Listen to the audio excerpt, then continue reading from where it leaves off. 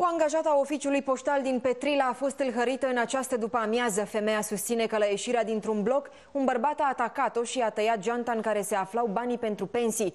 Alexandra Petrița are detalii. Alexandra, câți bani au fost furați?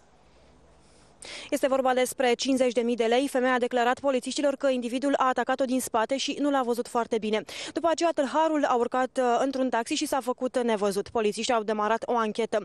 Au format un cerc de suspecți, dar cred că tâlharul nu ar fi din localitate. Deși femeia lucrează la oficiul poștal de 5 ani și nu a avut probleme de disciplină, anchetatorii nu au tăiat-o încă de pe lista suspecților. Acum un an, o altă poștăriță a fost jefuită, dar polițiștii au exclus posibilitatea ca tâlharul să fie același. Oana? Mulțumesc pentru informații, Alexandra.